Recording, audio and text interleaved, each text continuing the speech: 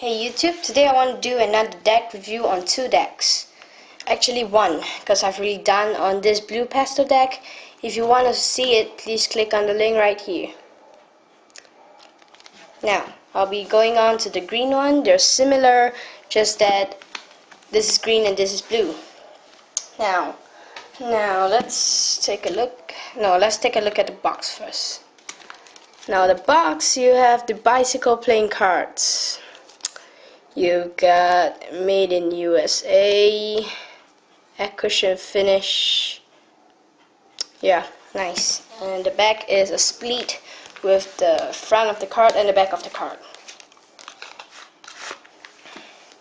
So it comes with four cards, two jokers, and two advertising bicycle cards. As you can see nothing much. So here it is. The cuts the bags are nice. Like they reminds me of melon the fruit. And for them let's have a look inside.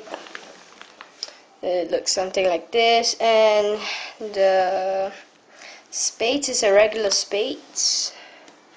The queen is a regular queen. Everything is regular uh, except for the colors well it spreads nice especially when after you turn it over.